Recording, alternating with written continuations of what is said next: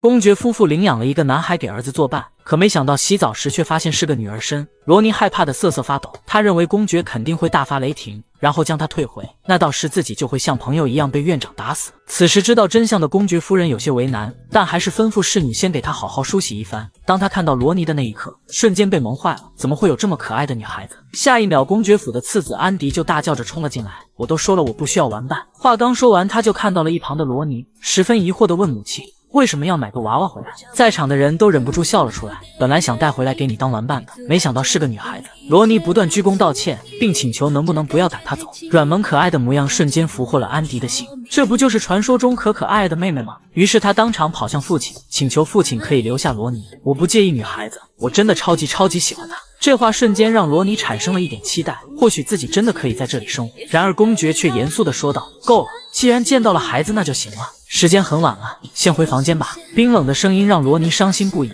没想到自己竟然产生这种不切实际的幻想，毕竟是自己欺骗在先。此刻房间只剩下公爵一家三口，公爵夫人请求老公可以将人留下，如果被退回的话，肯定会被狠狠教训。一旁的安迪也坚定地附和着，可男人还是十分果断，不管怎么说，不行。两人不赞同的想要劝解，可公爵却补充说道：“真是可爱到不行啊，果然还是要有个女儿。”之前好友总是在他面前炫耀，没想到想要给儿子找玩伴，竟然正好是个女孩，这也许就是缘分吧。于是他决定让女孩暂时住在这里，不过收做养女的事情还是再考虑考虑。这一决定为日后的感情发展减少了许多不便。公爵夫人开心的同时，又觉得十分奇怪，既然没打算赶她走，为什么要用那么可怕的表情让她回去？原来公爵只是看她有点累了，想让他回去休息而已。安迪也补充道：“父亲刚刚的表情像是要吃人一样。”这下公爵慌了，第一印象竟然这么差。另一边，得知自己可以留下的罗尼开心到落泪，可听到公爵即将下来的事情，害怕不已。毕竟男人刚刚的表情确实十分可怕。就在这时，公爵敲门进来，可女孩已经躲在床边瑟瑟发抖。你有休息一会儿吗？罗尼大声回答，并猛猛的点头。非常感谢您可以让我留在这里，没能立刻向您行礼，十分抱歉。公爵不知道他究竟遭受什么才会这么害怕，于是轻声安慰：“我不是来听你道歉的，是来给你取新名字的。”原来这个事情还是公爵夫人提起的。他们曾经在怀老大的时候就想过一个女孩名字，给她正好合适，你就叫洛妮。洛妮伊芙琳。女孩一言不发，这让公爵以为她不喜欢，没想到她却眼角带泪，感谢公爵给自己这么美。甜美的笑容瞬间俘获男人的心，于是公爵当场让侍女将妹妹住过的房间收拾出来给他，这让侍女气得咬牙切齿，暗骂卑微的孤儿怎么可以住那个房间。突然，即将离开的公爵说道：“有个事情忘了说了。”侍女偷摸着笑了，认为公爵不可能让一个孤儿住那么好的房间，没想到公爵却十分严肃认真的说道：“你的小名叫洛洛，要记住哦。”这下两人都傻眼了。女孩走了狗屎运，从孤儿一跃成了公爵次子的玩伴。留在公爵府的第一个晚上，她就做起了噩梦，梦见以前被诬陷、遭受院长毒打的场景。此时，恶毒的侍女看她还不起床，顿时生气的暴力唤醒洛妮，被吓了一跳，猛地从床上弹了起来。大口大口的喘着粗气，一看就是被吓得不轻。然而侍女根本不管，没好气的让她赶快起床洗漱，因为打心底看不起洛妮这个孤儿。明明只是个平民，却能飞上枝头，水都滴到地板上了，擦完了就赶快换衣服。洛妮看着床上的礼服，开心不已，没想到自己能穿这么漂亮的裙子。喂，你愣着做什么？难道要我帮你穿吗？女人突然的怒吼让洛妮吓了一跳。她只能说自己可以搞定，可当侍女离开房间之后，她却陷入了沉思。这个到底要怎么穿呢？突然门外传来安迪的声音，男孩激动地说道：“洛洛，哥哥来接你了。”上次给他洗澡的侍女担心地问：“身体怎么样了？”安迪还不知道这件事，洛妮急忙说：“没什么。”等到只剩两人的时候，他才请求侍女帮自己保密。不过很快就会被所有人发现。很快，第一次家庭聚餐开始，公爵夫人十分热情地喊他宝贝，并关心他昨晚睡得好不好。就连安迪也贴心地帮他切好牛排，并告诉他要一大口吃掉才好吃。洛妮努力的张大嘴模仿，塞满整个嘴巴的样子像极了小仓鼠，将一旁的两人都萌坏了。好好吃呀，真是太好吃了！安迪骄傲的不行，听哥哥的话没错吧？就在这时，安迪注意到洛妮的袖子碰到了牛排，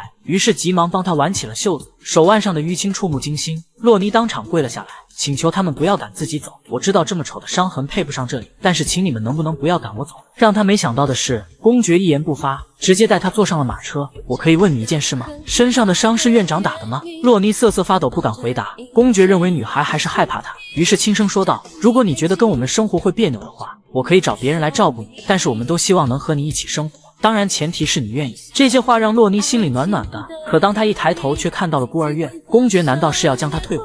女孩费尽心机掩盖的伤还是被发现了。公爵二话不说，直接将人送回孤儿院。院长谄媚的出来迎接，还以为马车上的人是公爵之女。可当他看清洛妮的脸之后，顿时破口大骂：“你这死丫头，竟敢骗我！”随后还不断诋毁，说她向来是谎话连篇。然而公爵根本不信，笑着对女孩说道：“你什么都不用担心，想说什么就大胆说吧。”洛尼好像吃了定心丸一样，鼓起勇气喊道：“说谎金是院长才对！明知道我的朋友皮特没有做错什么，还是把他打死了。”男人支支吾吾的样子，明显是心虚了。公爵当场让人拉了下去。傍晚，两人终于回到府邸。公爵夫人和安迪早早的就在外面等候，一看到人就扑上去检查他是否受伤，关心的嘘寒问暖。洛妮简直不敢相信自己竟然能够遇见这么好的人，只是因为他这个人本身就无条件相信他，这让女孩感动到无以言表。当天晚上，公爵夫人还给他梳头，想象不久之后头发长了该有多么可爱。随后还用圣水帮他擦拭伤痕。可当浑身的伤痕露出来的时候，夫人还是一脸的心疼。孩子，为什么你在孤儿院会以男生的身份生活？是妈妈让我这么做的，我也不太清楚为什么。公爵夫人可以理解，或许是害怕他被别人欺负。你现在不用再隐藏自己的身份了。可以安全的在这里生活，洛妮对此十分幸福。隔天，公爵为洛妮做了身份证明，担保人是他自己。女孩的全名为洛妮·伊芙琳·克雷，这是公爵家族旁系贵族的姓氏。无论是教育还是未来的各种事，都能帮助到她。女孩很是感激，保证会努力学习认字，只要是公爵吩咐的，都愿意去做。那你出去玩吧。女孩懵逼，她一直在明示我。他想跟你一起玩，哪怕不是为了安迪。孩子的工作本来就是玩，所以你快出去工作吧。很快，两人来到了外头的草地，安迪扑通一下就躺了下去，还招呼着洛妮坐到旁边。好的，少爷。洛洛，你为什么总喊我少爷？喊我哥哥不行吗？我怎么敢？我不能对少爷那么无礼。安迪虽然有些失落，但还是让他觉得自在点的时候再喊。不过以后一定要喊我哥哥。洛妮犹犹豫豫，不敢拉钩。安迪见状，直接一把抓了过去，随后心满意足地躺在草坪上。没一会儿，他就打起了呼噜。洛妮打算趁着他睡着的时候去附近逛逛，这里的湖泊美到令人不可思议。于是他决定像以前一样到树上好好看一看。可今天的鞋明显不合适，当他爬到一半的时候，突然不受控制地掉了下去。千钧一发之际，一个帅气的小哥哥突然出现，接住了他。男孩究竟是什么身份？女孩从百米树上掉落，被帅哥哥接住，对着陌生男孩就犯起了花痴。下一秒却得知他竟是公爵府的大少爷尤斯，今天回来的早，所以到森林去接弟弟，顺便看看父亲在信里提到的女孩是什么样子。说到这，尤斯突然对着洛妮笑了一下，这让女孩瞬间羞红了脸。这时，安迪突然凑近问他：“洛洛，你怎么不吃？”洛洛两字让尤斯疑惑：“哥哥，你叫他洛洛就行。”这可是父亲亲自取的昵称。被拆穿的公爵有些不好意思，强装镇定地说：“这个适合他，是挺合适的。那我也喊他洛洛。”女孩本想用新名字优雅的打个招呼，这下算是泡汤了。这时，安迪冷不丁给洛妮塞了一嘴蛋糕，香甜的草莓混合着奶油，让她十分喜欢。一旁的公爵夫妇看着这一幕，发出了姨母笑，可大少爷却阴森森的盯着他，这究竟是什么情况？突然，管家禀报有客人到访，是侯爵夫人和侯爵千金，同时也是公爵的妹妹和侄女。女人气势汹汹，明显是来找茬的。原来，刚刚恶毒侍女进行了一番添油加醋，说洛妮十分狡猾。不仅女扮男装混进来，甚至诱骗公爵获得贵族姓氏，还占用了他以前的房间。因此，索菲亚下定决心要将洛妮赶出去。而他的女儿莉迪亚一来就想和尤斯亲近。恰好这时，男孩发现洛妮杯子里的果汁喝完了，于是主动站起来给她续上。这一举动让莉迪亚气得不行。不怀好意的母女已经想好怎么把洛妮赶出去了。不一会儿，茶话会匆匆结束。安迪不满地发牢骚，说他不喜欢姑姑和莉迪亚，姑姑什么事情都要教育我。而莉迪亚总跟在哥哥后头，把我当下人使唤。不过现在我有洛洛你了，我跟洛洛玩就行。他开心地拉着洛妮要去房间，这才发现洛妮的手竟伤痕累累，原来这是刚刚爬树滑下来磨的。医生有些奇怪，明明是刚受的伤，却有了愈合的现象。你的伤口本来就好的很快吗？是的，就算伤得很重，也能很快就好。医生看了看洛妮的手臂，第一次过来时的伤已经完全看不见了。虽然公爵夫人给他用了圣水，但理论上也不可能好的这么快。这究竟是什么情况也不好说。医生交代了两句，就若有所思的离开了。这让洛妮心中有些触动，她第一次对未来有了想法，也想成为了不起的医生。就在这时，安迪从门外冒了出来了，邀请洛妮一起去房间玩耍。可莉迪亚却突然出现，一副十分亲切的样子。见到你真是太高兴了，所以我们去过只属于女孩子的时间好吗？洛妮知道面前的女孩是真正的贵族小姐，或许只要跟着她学习，就能知道怎么快速融入这里。于是她当场答应下来。莉迪亚在没人看到的时候发出了坏笑，她究竟会如何为难洛妮？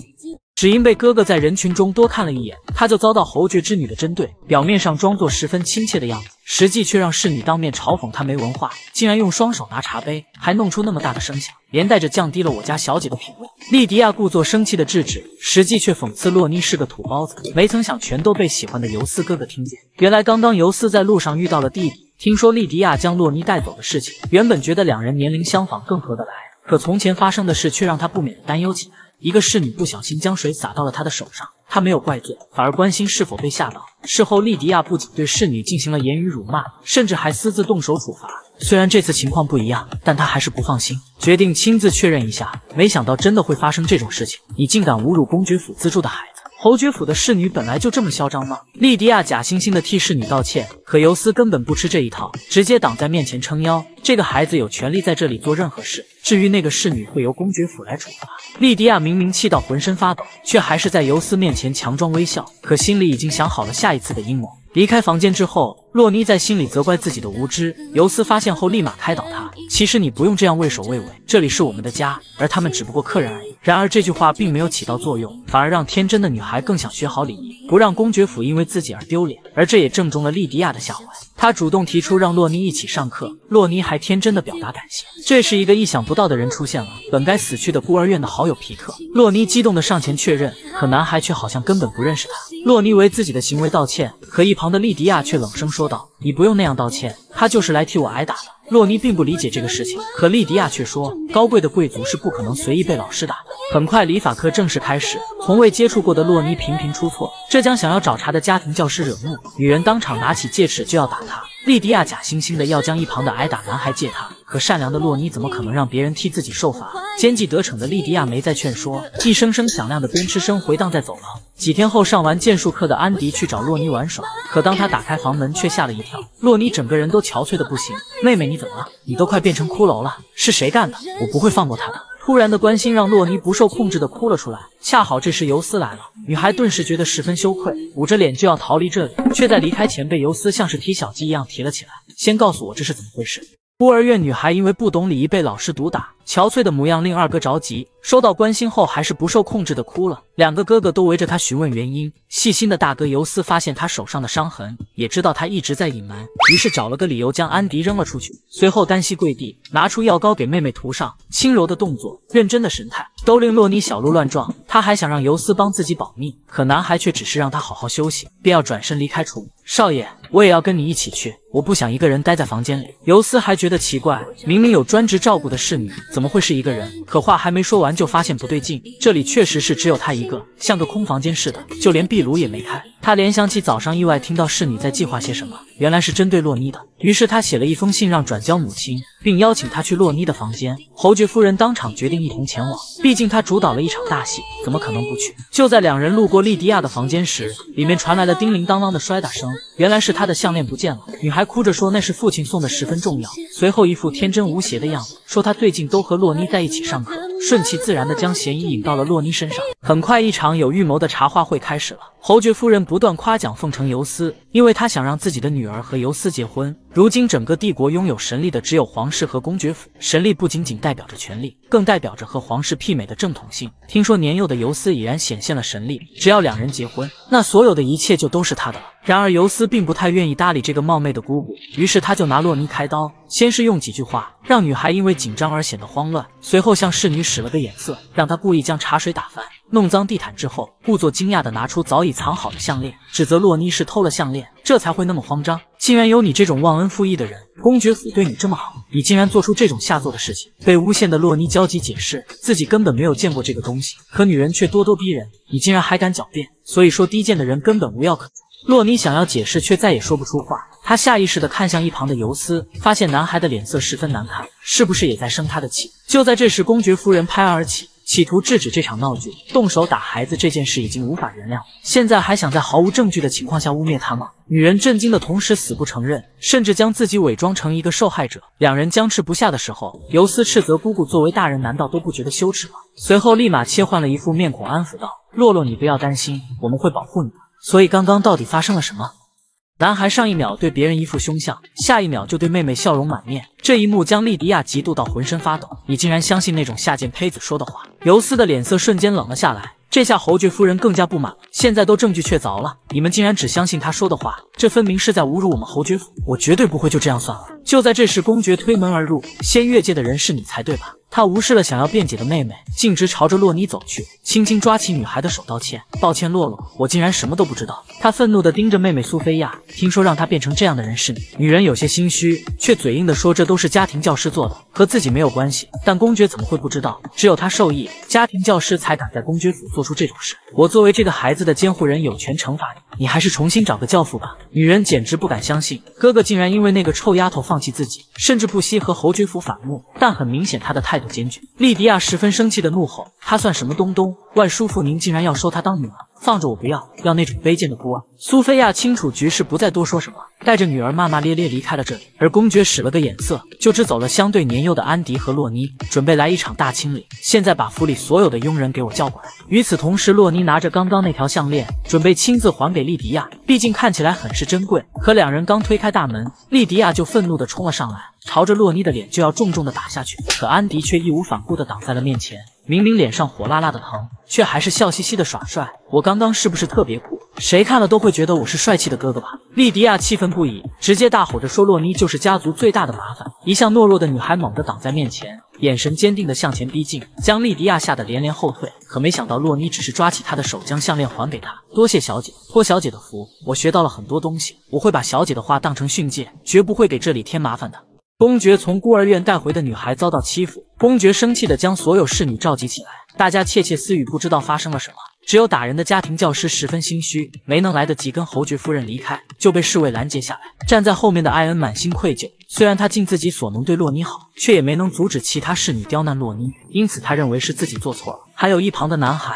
因为对发疯的莉迪亚进行劝阻，就被打了一顿，扔在这里自生自灭。就在这时，公爵从楼梯上走了下来，问他们知不知道为什么会被召集到这里。见没人回答，他径直走到了家庭教师面前，自己说做错了什么。女人依旧嘴硬的不肯承认。公爵直接切入主题，因为你随意体罚了马尔斯家族未来的公母。另外两个参与的侍女瞬间脸色煞白，他们怎么会想到一个孤女竟然这么受重视？公爵神情阴森，说的话更是令人害怕。我现在剥夺前公爵赐予你的爵位，从今以后滚出我的领地。看众人的反应，明显是觉得处罚太重。虽然公爵也有这种顾虑，但是若不采取强硬措施，那么洛洛就很可能会再经历那种事。从现在开始，一个个问罪。我已经知道所有事，所以别想在我面前撒谎。与此同时，洛妮看着手中被莉迪亚丢下的项链发呆。安迪不想让他在意这种无关紧要的东西，直接将项链扔掉。洛妮这才想起让安迪赶快去看医生。男孩不好意思的挠了挠头：“你要是喊我哥哥的话，我应该就不会疼了。”女孩天真发问：“但你要赶紧擦药才能减轻疼痛吧？”就在这时，洛妮看到一群人提着行李走出了府邸，其中还包括那个挨打男孩。紧随其后的是侍女艾恩，她高兴的跑了过去，问他这是要去哪里。艾恩支支吾吾没有说话。这时，一旁的管家上前询问洛妮是否认识面前的侍女。她是从我刚来这里就一一直对我很好的姐姐。艾恩感动的笑了，却没有为自己说一句话。管家随即表示是公爵和夫人下令让他们离开的。洛妮听完，瞬间呆在原地，下一秒就猛地泪奔，大喊道：“不可以！”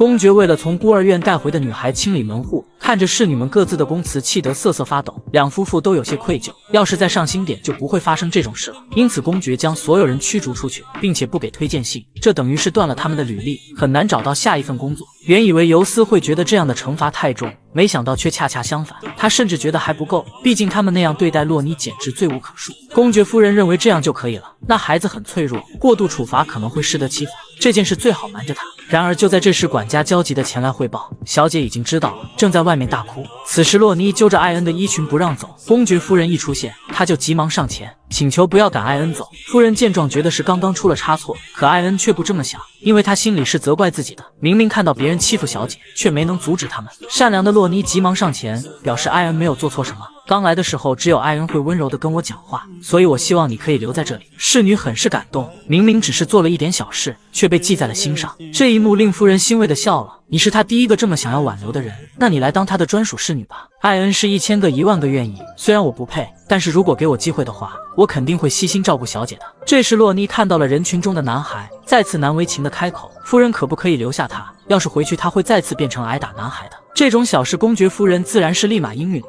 瞬间，所有人都议论纷纷。专属侍女都是工作经验很久的高级佣人，艾恩竟然这么好运。于是以黑紫发侍女为首，所有人都跪了下来。请求洛妮可以再给他们一次机会。尤斯第一个不答应，拿起剑就架在了他的肩上。到此为止吧，你应该感激只是被驱逐出去。男孩命令侍卫将其他人都拖下去，扭头就笑着邀请洛妮一起回去。一旁的艾恩一副磕到了的样子，而可怜的安迪就这样被遗忘在角落。能解决完这些再离开我就放心了。少爷要去哪里吗？假期马上结束了。明天我就回学院了，这样时间才不会太紧。洛妮心中顿时警铃大作，而尤斯好似看出来了，于是玩笑道：“你不想让我走吗？不然我不走了。”孤儿院收养的女孩终于喊哥哥了。大少爷即将回学院上学，洛妮顿时觉得十分失落。男孩见状，拿出心形糖果，随后突然凑近道：“你不想让我走吗？不然我不走了。”洛妮猛地觉得十分不好意思：“我怎么能拦着您不让您走呢？”尤斯轻轻摸了摸他的头，让他在这里乖乖等着。就在这时，安迪哀怨地追了过来，一把抓住洛妮，斥责哥哥：“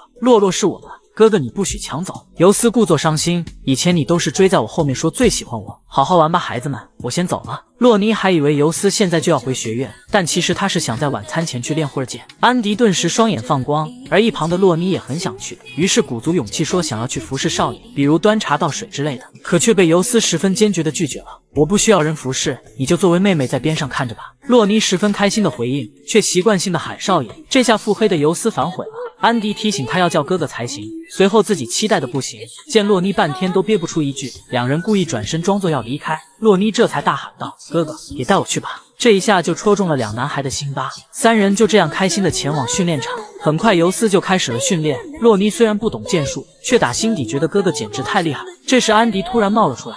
大吼着，就算哥哥再帅，也不能迷上他。洛洛只能是我一个人的妹妹。他努力挥舞着手中剑，而洛洛也十分捧场的表示很帅。哥哥们以后都要当骑士吗？其实是要继承家族，想要成为家主，就要得到神物的认可。而公爵家族的神物是阿雷斯之枪，剑术只是最基本的条件，所以要一直坚持训练。尤斯说完就去存放手中的剑，而一向乐天派的安迪则黯然神伤，因为他认为哥哥马上就能跟神物产生共鸣。从小到大，所有人都对哥哥抱有很大的期待。所以资质平庸的安迪并没有想象中那么没心没肺。就在这时，负责安保的卡兹爵士来了。洛妮只是礼貌的行了个礼，瞬间就将这个铁汉子萌得不行。而男人带来了安迪的新玩伴，那人竟是挨打男孩乐文。来了来了，三男一女的甜宠场面来了。公爵次子有了新玩伴，可他明显不高兴，因为只要有洛洛一个就够了。可当乐文表示自己是来当玩伴兼练习对象的时候，他的态度瞬间不一样。那你就是要先学剑喽，这种话你应该先说的。就让我来特别教你吧。你说谁教谁？被哥哥质疑的安迪大声反驳：“当然是我教他呀，总比哥哥好吧？哥哥只是自己厉害，根本没有教人的本事。”尤斯面不改色，直接来了个超强脑瓜崩。将弟弟弹飞在地上，两人打打闹闹，很是亲近。乐文见状，将洛妮带到了一旁坐着。卡兹爵士看着四个可爱的小娃娃，露出了老父亲般的满意微笑。很快就到了尤斯离开的时候，洛妮不舍得抽泣，男孩用手帕为妹妹擦去眼泪，并让她在家好好玩，很快就会回来。之后，洛妮一个人在房间难过，艾恩端着甜点走了进来，吃点这个心情会好一点。果然，小孩的情绪就是这么容易转变。他就这样开心的吃了起来。尤斯少爷说您会喜欢这种巧克力，果然心情好多了呢。眼见艾恩是真的放心多了，洛妮犹豫着问道：“你为什么对我这么好？”艾恩愣了一秒，随即热情的表示对他的喜爱，而且第一次见到您的时候就想起了我的妹妹，她是像小姐一样非常乖巧的孩子，但是您不要像她一样，因为老天会过早带走乖宝宝。洛妮感同身受，顿时就要哭出来。我也有一个很乖、很早就离世的朋友，所以我想成为医生，帮助那些乖孩子。艾恩当场被他的善良感动，鼓励他从现在就开始努力学习。然而下一秒却指着门口说出和公爵一样的话：“快出去吧！”对于孩子来说，出去玩就是最好的学习。此刻，公爵看着洛妮一副若有所思的样子。他们已经决定领养，但是在那之前，要确定他的亲生父母是否还在世。据那个孤儿院的院长透露，那个人将孩子托付过来的时候，说他是一个很尊贵的孩子，要好好照顾。所以，洛妮的真实身份究竟是谁？孤儿院收养的女孩终于开始学习了。就在几天前，公爵夫人拜托好友普罗林子爵夫人教授洛妮之事，并希望她能将课程进度设置的缓慢一些，既不打击孩子的信心，还能给洛妮留出更多时间在户外玩耍。然而，洛妮十分认真，学习的情绪也很是高涨，仔细照着老师写的模仿自己的名字，可爱的模样十分惹人喜爱。就在老师打算教他别人的名字时，洛妮红着脸问：“能不能先教尤斯哥哥的名字？”老师欣然答应，直接写出了全名。而洛妮则盯着那张纸小鹿乱撞，俨然是一副痴心少女的模样。老师一眼就看出了她的心思。不过公爵夫人即将领养她，两人以后怕是有点坎坷呀。很快迎来了洛妮的第一次出门，侍女告诉她，今天是要去给安迪哥哥买东西。洛妮十分期待这次外出，而艾恩也是如此。但是他开心的是能够来一场酣畅淋漓的变装。为什么要这么做呢？因为这是值得纪念的第一次出门，我有很多妆造要给小姐试试呢，真是太令人期待了。我们开始吧。过了一会儿，公爵三人来到门口等候，恰巧艾恩已经给洛妮准备好了。安迪迫不及待地冲了进去，看到女孩的那一刻，几人都惊呆了，真是太太太可爱了。洛洛本来就很可爱，今天更更更可爱。洛妮开心地向哥哥道谢，而安迪说起了刚刚从小说中学到的那句话：“我的妹妹，我谁都不给。”大家都被他逗乐了。公爵抱起了洛妮，四人就这样朝着村庄出发。路上，女孩被面前的景象惊得说不出话。安迪臭屁的表示以后还会有很多有趣的事情。洛妮也发自真心的应和着，这让公爵十分满意。三人就这样互相交换着眼神。原来今天出门逛街是公爵夫人提议的，府里没有一件属于洛妮的东西，一直用的都是他们从前给未来女儿准备的，所以侍女们才会觉得洛妮很快就会离开。因此这次是特地出来给洛妮采购的。可女孩实在是太小心翼翼了，所以为了不让她拒绝，就谎称是去给安迪挑选衣服。到时候以搭配为由，就能给他买一大堆东西，很好，一切都在按照计划进行。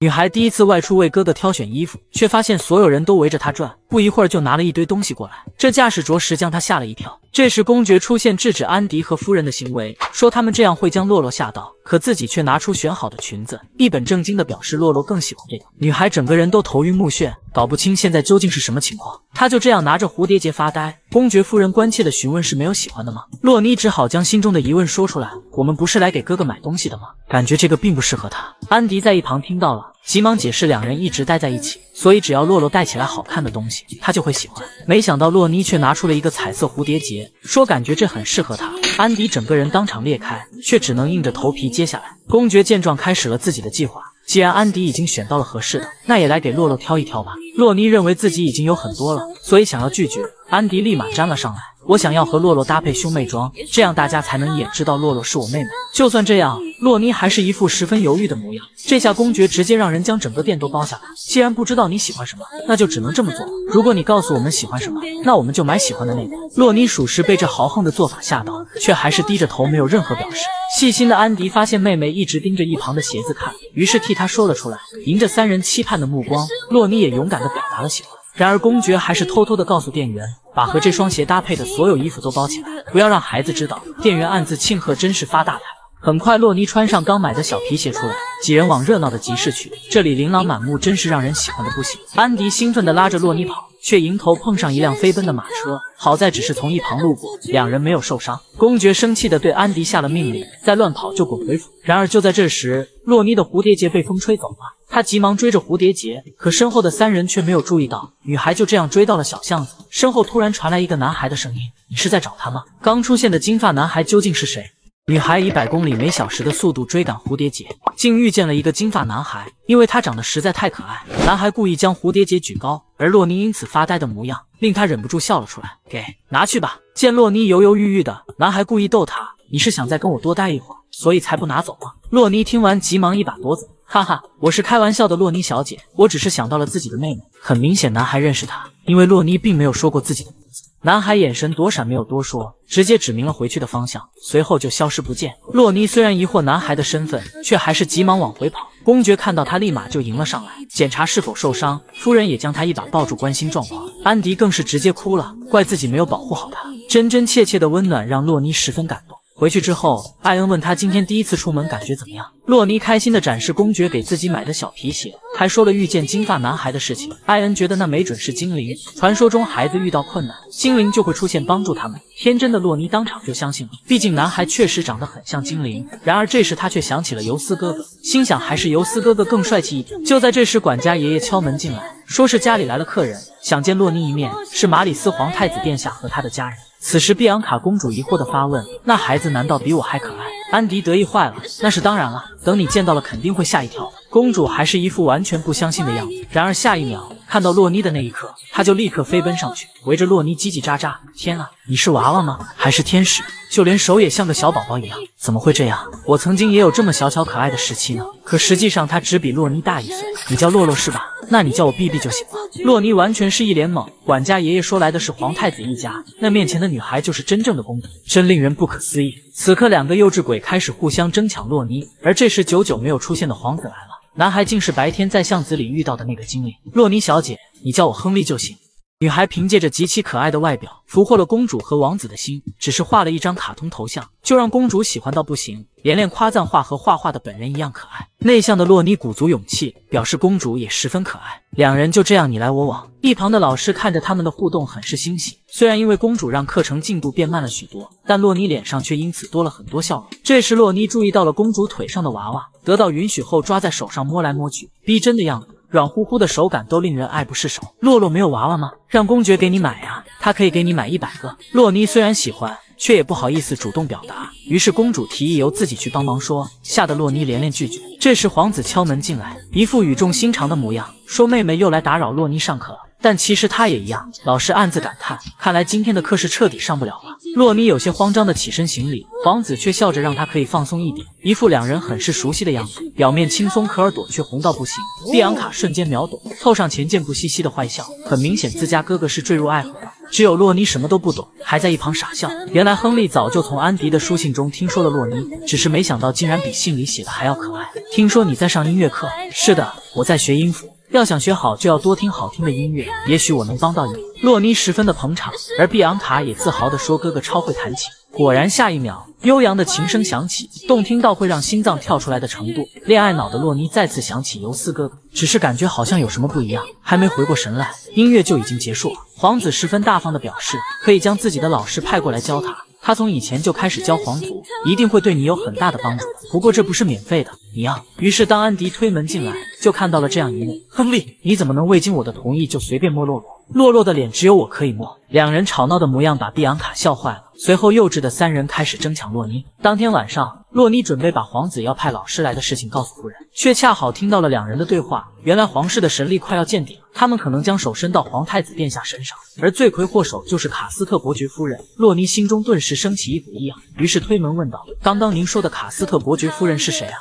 他是个无亲无故的孤儿，可第一次听到卡斯特伯爵夫人，竟觉得十分心痛。于是他好奇地询问卡斯特是谁，却得到了令人意想不到的答案：她是皇帝的情妇，同时也是皇宫的实际掌权人。为了把自己的儿子送上皇太子之位，无所不用其极的人。公爵夫人不想让洛妮过早接触不好的事情，于是快速的结束了这场对话。你过来是不是有什么事情吗？哦，对了，亨利皇子说要派音乐老师过来教我，还说那位曾经也教过公主。他有没有说叫什么名字？好像是以一开头。然而以此开头的人实在太多了，于是竟意外漏了关键信息。隔天，安迪和皇子开始了一场对决，两人以这场比赛的输赢做一个赌约。几个回合之后，安迪还是败下阵来。乐文贴心的给两人拿来毛巾。而安迪想起这段时间的相处，觉得他还是个十分善良的人。就在这时，洛妮和公主来了，几人反应都很是热情。安迪注意到乐文正两眼放光，一副很是开心的样子。难道这家伙喜欢洛洛？绝对不行，妹妹只能是我的。于是他快速冲到前面挡住，看到妹妹有些无精打采，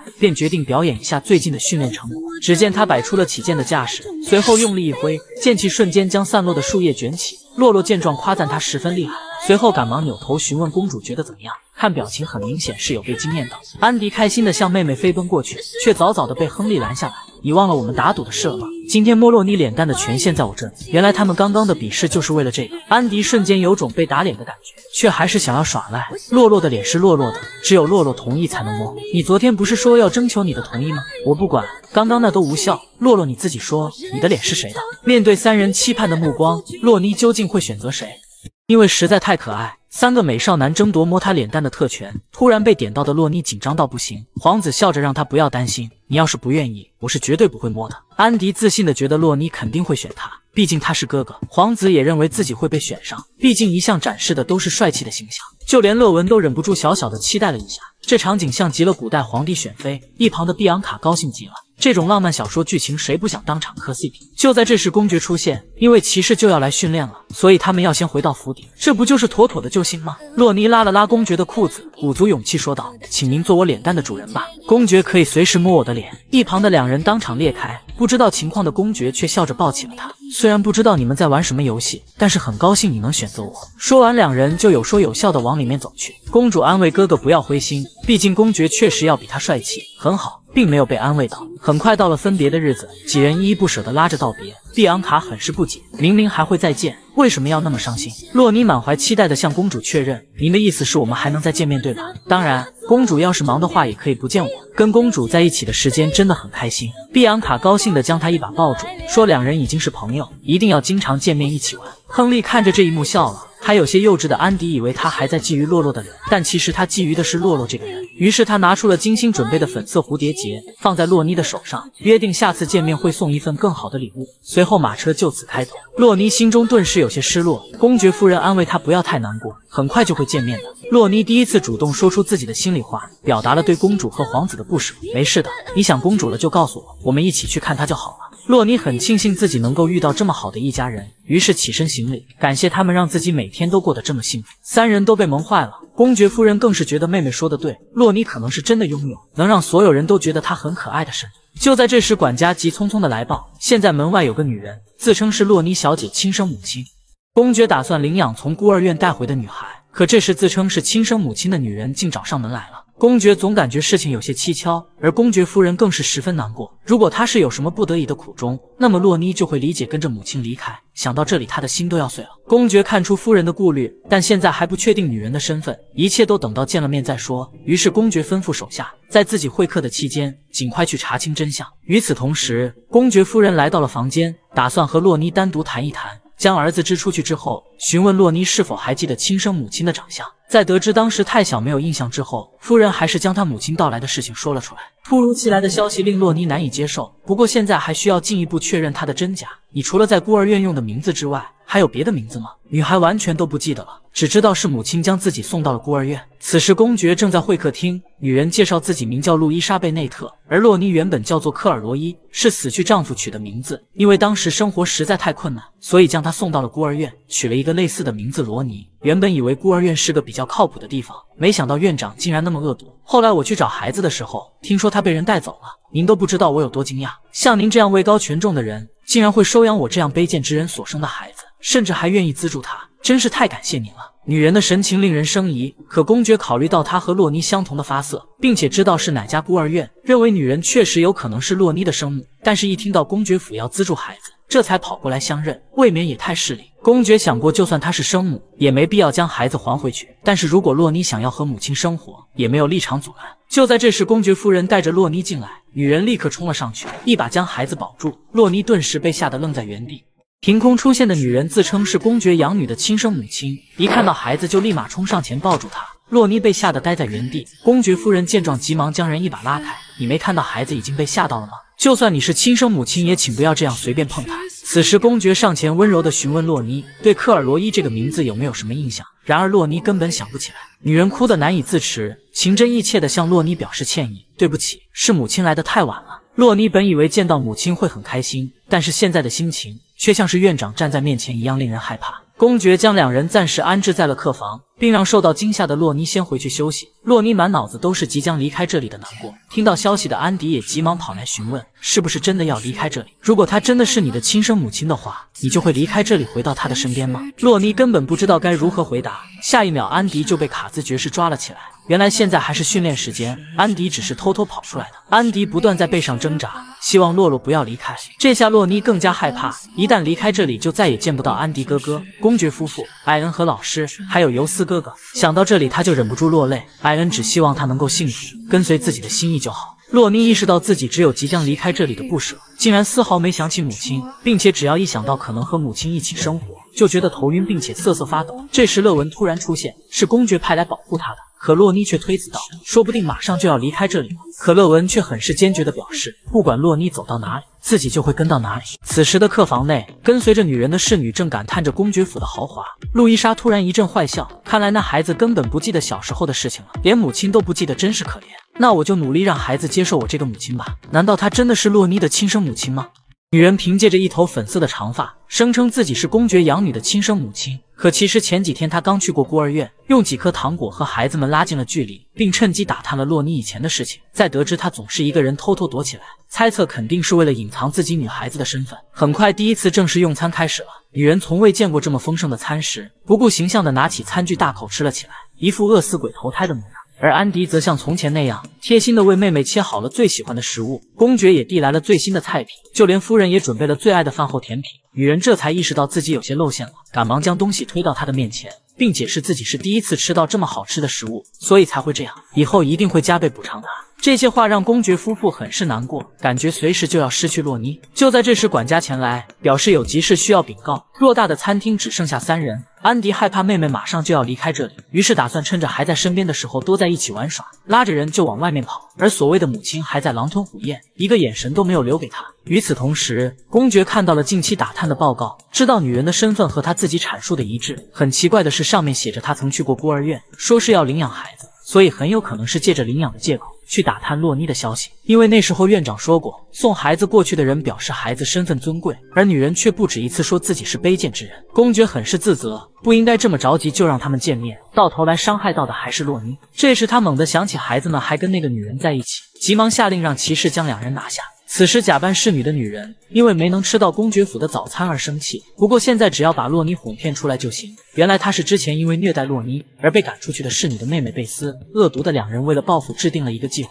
找到容貌相仿的路易莎，花了一大笔钱雇佣她一起演戏。他已经想好等大赚一笔之后，再将洛妮丢到没人知道的孤儿院。然而这时他却碰上了四处搜查的侍卫。很明显，公爵是发现了什么。恰好这时路易莎出现，还在沾沾自喜地阐述早餐有多好吃。贝斯立刻拉着他就往外面跑。公爵得知没能抓到两人的事情，阴沉着脸让他们加大搜索力度。而且一个平民不可能这么熟悉府里的情况，所以公爵府肯定有一个共犯。这话听得两人心惊胆战，于是他们准备将魔爪伸向洛妮。此时两小只正在草坪玩耍。安迪一想到妹妹将要离开，就十分难过。可他又不能阻止妹妹和亲生母亲离开。无论何时，你都可以回来玩，我等着你。两人就这样抱在一起，痛哭流涕。这时，两个坏女人突然出现。路易莎以想要和他单独聊聊为由，强装着微笑向洛妮张开双手。克尔罗伊，到母亲这边来。女人为了骗取钱财，假冒公爵养女的亲生母亲，被发现之后，立刻找到女孩打起了感情牌。安迪虽然不舍，却觉得不能阻止他们母女团聚，于是交代完几句话就转身离开。而女人见洛妮有些犹豫，立马用起了苦肉计。我知道我不配做一个母亲，但是能再给我一个机会吗？我向你保证，会尽最大的努力弥补你。洛妮顿时感动不已，哭着朝母亲的怀里扑过去。可当她触碰到女人的那一刻，却感受到了一阵酥麻的痛感。好像被针扎了一般，而母亲身后也冒出了阵阵黑烟，于是害怕的连连后退。这时，远处传来搜查的声音，女人瞬间露出凶狠的模样。就在她即将触碰到洛妮的前一秒，乐文帅气登场，挡在面前。刚离开的安迪也折返回来查看情况，很快女人就被骑士逮捕，而公爵也心疼的将洛妮抱在怀里，轻声安慰：“你只是做了一场噩梦，好好睡一觉，一切都会好起来的。”此时，两个女人还在互相攀咬，推卸责任。洛妮终于不受控制的哭了出来。当天晚上，她就发起了高烧。公爵夫妇立马叫来了家庭医生，公爵夫人更是心疼到落泪。洛妮看着面前的一幕，觉得很是温暖。安迪哥哥肯定也在担心自己，还有尤斯哥哥。他就这么想着想着，随后就睡了过去。等他再次睁开双眼的时候，竟发现外出学习的尤斯哥哥就出现在面前。女孩震惊的坐了起来。原来尤斯从公爵夫人的信中得知洛妮的遭遇，于是连忙赶了回来。他拿来一旁的粥，说道：“你现在应该没什么力气，我来喂你吧。”洛妮十分不好意思，急忙表示已经恢复，可以自己吃饭。虽然母亲是假的，但是遇到这么多好人，让她觉得很是幸运。很快，洛妮就恢复了健康，几人又像从前一样快乐玩耍。练完剑的尤斯也来加入他们，这次由他来找人。安迪拉着乐文一下就没了踪影，洛妮紧张的不知道怎么办才好。这时想起了乐文刚刚躲在沙发下面，于是快速往里钻，没想到却被挂住。尤斯一扭头就发现了洛妮，立马上前帮他拿掉。可爱的模样令尤斯笑了出来。这下洛妮被羞的眼泪都出来了。抱歉，你真是太可爱了。听到尤斯哥哥的夸奖，让洛妮心动不已，于是他十分认真的说道：“尤斯哥哥，我真的真的好喜欢你。”直球女孩对着哥哥大声表白，哥哥温柔的摸了摸她的脑袋，同时也表达了自己的喜爱。这时已经藏好的两人听到洛洛的大声呼喊，急忙跑出来，可因为游戏规则却被抓了个正着。单纯的安迪只顾着和哥哥辩驳刚刚的情形，而细心的艾文发现地上失落的女孩，急忙伸手将她扶起。顺着女孩的目光，他发现了一个秘密，那就是女孩喜欢尤斯的事情。虽然他的心里也很是难过，但只要能看着洛妮获得幸福，那么他就很满足了。然而幸福的日子总是很快就过去了，尤斯终究还是要回到学院继续学习。洛妮整个人都闷闷不乐的，就连平常最爱的小蛋糕都没有心思吃了。公爵夫人以为他的身体还没恢复，十分担心的让他回去休息。洛妮一听，赶忙大口大口的吃了起来。我没事，蛋糕很好吃。公爵夫妇还是再次为了这次的事情道歉，很抱歉让你遭遇这种事情。我们想和你成为真正的家人，无论什么时候你都可以依赖我们。所以你要不要做我们的女儿？洛妮内心很是纠结，她知道公爵一家都是很好的人。遇到他们是三生有幸，和他们在一起可以永远的幸福下去。但是仔细思考之后，他还是回绝了。对不起，我还是想再等等母亲。虽然我想不起来她的样子，也不知道她为什么会把我送到孤儿院，但是我想再见见她，把这些事情都问清楚。公爵夫妇表示十分理解，并将洛妮抱在怀里。你不用感到抱歉，等你解开心结的那一天。再告诉我们吧。洛妮就这样感受着夫人温暖的怀抱。几天后，公爵夫人提议办一场茶会。毕竟洛妮现在还没有什么同龄朋友，但洛妮生怕再遇到像莉迪亚小姐那样的，让安迪哥哥替自己挡枪，于是变得十分犹豫。夫人宽慰她举办茶会可以邀请想要邀请的人，比如碧碧公主。洛洛又小小的期待了一下，没准能遇到像公主那样温柔的朋友。于是她下定决心一样，表示自己想去参加茶会。很快，时间来到了茶会当天，洛妮被好好打扮了一番。又可爱出了一个新天地，怀着紧张又激动的心情，今天的他能否顺利交到朋友？很多小伙伴们问可爱的洛妮上哪看？认准这个，打开之后完整输入“洛洛看韩漫”，点击即可免费看。公爵夫人为收养的女孩举办了一场茶话会，却不曾想竟让女孩陷入一场风暴之中。今天是茶话会的当天。这里被布置的十分精美，洛妮简直不敢相信会如此隆重，于是她真心的向夫人表达了感谢。这时，乐文突然出现，今天的他也经过了精心的打扮，看起来比平常还要帅气几分。原本夫人想挑选一个活泼可爱的女孩子陪伴，但是公爵却认为乐文会更好一点。不仅和洛妮相熟，还参加过不少社交活动。好在乐文的出现，也确实让洛妮紧张的心情放松了下来。突然，侍女送来了一封信，原来碧昂卡公主昨天发起了高烧，虽然十分期待这次见面，却还是没办法起身，所以今天来不了了。夫人很是担心，但是茶话会已经开始，现在取消根本不可能。而洛妮确实也产生了退缩的意思，可是她不想浪费夫人的一片心意，于是主动表示自己没问题，而且还有乐文在，所以不用担心。夫人觉得欣慰的同时，也告诉她，如果有感觉不自在的地方，可以先行离开。就这样，茶话会开始了。来人是伯爵府的阿格尼斯，还有子爵府的西维亚。三人相互介绍之后，夫人打个招呼便离开了这里。而三人刚坐下来，阿格尼斯就开始表示自己的羡慕。听说是公爵府在资助你，就连你的礼服也好漂亮。然而西维亚却突然说起了他们喝的茶，没想到还是巴兰山上最上等的茶叶。但很明显，洛妮对此一窍不通，这引来了西维亚的不满。明明是个没落的贵族，竟然能享受这么好的资源，真是太不公平了。这时他注意到了一旁的乐文，故意难为的问道：“他是公爵府安排来伺候你的吗？是因为长得帅，你才选的他吗？”洛妮支支吾吾，不知道如何解释。毕竟乐文并不是自己的玩伴。西维亚见状，不怀好意的笑了。难道是有什么我们不能知道的关系？然而话还没说完，乐文便开口维护道：“很抱歉打扰你们说话，但是小姐是我选的人。”孤儿院女孩第一次举办贵族小姐的茶话会，就遭到了不怀好意的子爵小姐欺负。艾文霸气挺身而出，说自己已经决定将所有的一切都奉献给她。随后对着慌张的洛妮露出一个安心的微笑。没能如愿的西维亚气得牙痒痒。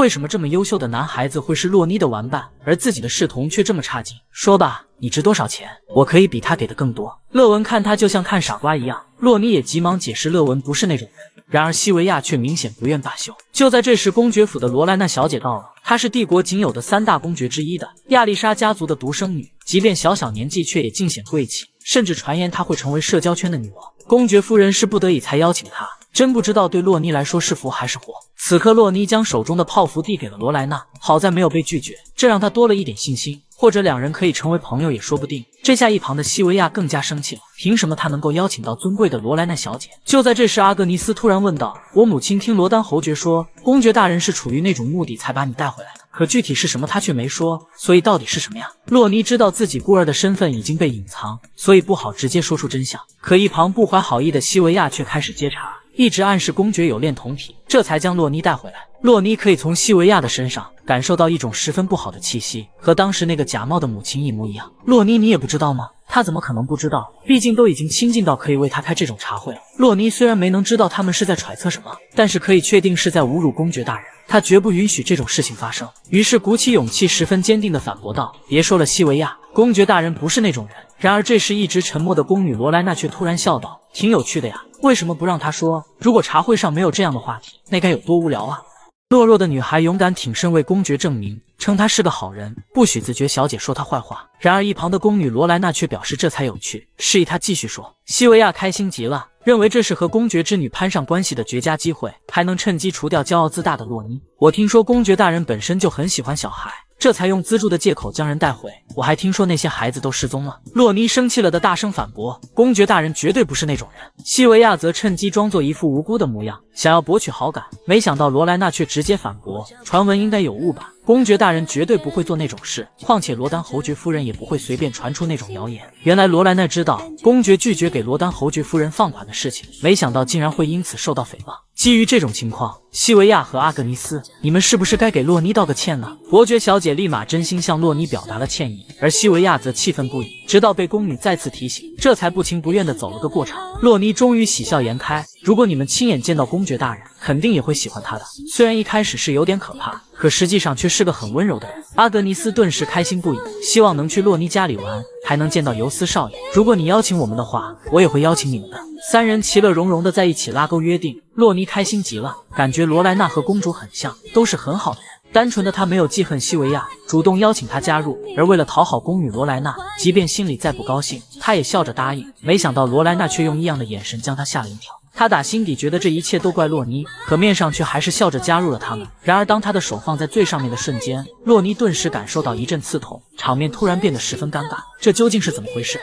公爵从孤儿院领养的女孩竟有着皇室血统。第一次茶话会终于圆满结束，洛妮开心地告诉艾恩自己交了三个朋友，宫女罗莱那个方面都很优秀，阿格尼斯好奇心比较强，而西维亚。洛妮突然停顿，觉得他浑身透露着奇怪的气息。可女孩没有多想，只觉得是他心情不好才会这样。为了不让艾恩担心，她并没有将那些不愉快的事情说出来。然而，就在她打算去睡觉的时候，竟突然感受到一阵疼痛，晕死过去。随后就再次发起了高烧。所有人都紧张地陪在他的身边，而安迪更是担心的大哭：“我不能没有洛洛，你治好洛洛，那我就什么都答应。”家庭医生被这一幕逗笑，开始和小孩开起了玩笑：“什么都答应吗？那可以让洛洛小姐成为我的妹妹，跟我走吗？”见安迪真的被吓到，医生立刻解释自己是开玩笑的，小姐并无大碍，就是可能还不太适合参加茶话会。公爵夫人有些自责，是自己太过心急了。之前冒牌母亲的事情发生也病了一场，不过总觉得洛妮的身体有点羸弱。公爵夫人突然想起。自己像她这么大的时候，因为神力也曾这样。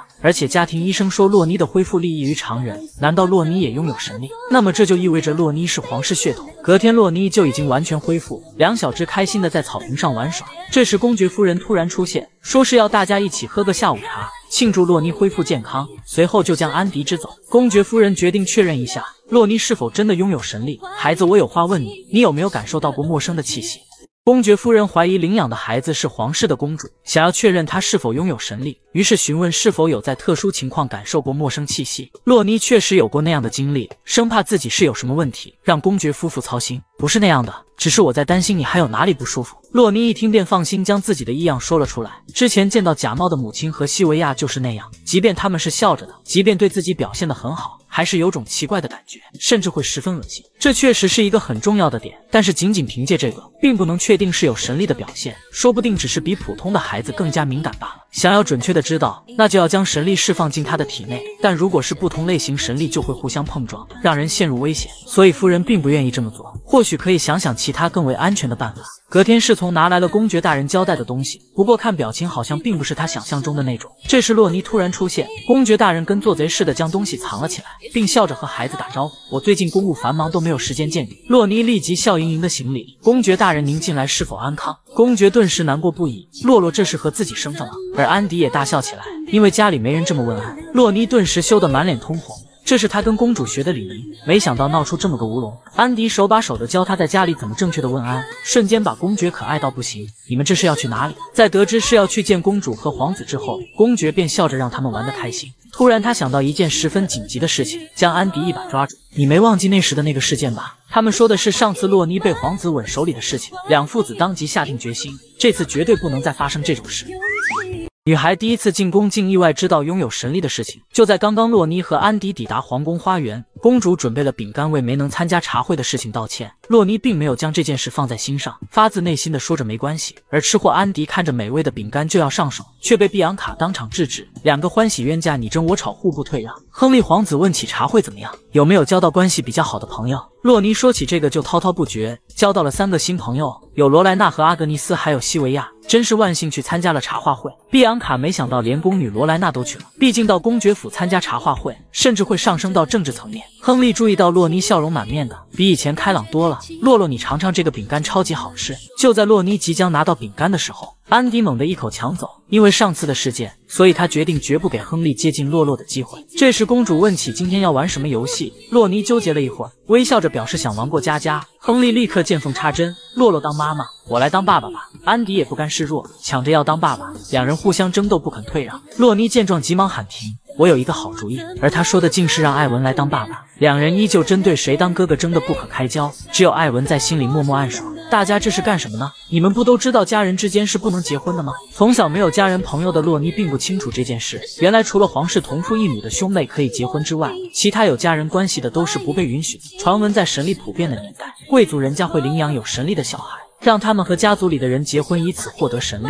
后来为了阻止这种行为，定下了明确的法律。洛尼伤心极了，这意味着和公爵成了家人，就不能和尤斯哥哥结婚了。不过怎么知道有没有神力呢？碧昂卡嘲笑安迪的无知，随后自然牵起洛尼的手进行演示。像这样将神力释放到体内，就知道了。如果没有神力，就不会有任何感觉。然而下一秒，手上就传来酥酥麻麻的电流。碧昂卡一整个惊呆了，随后不可思议地问道：“洛洛，你是有神力吗？”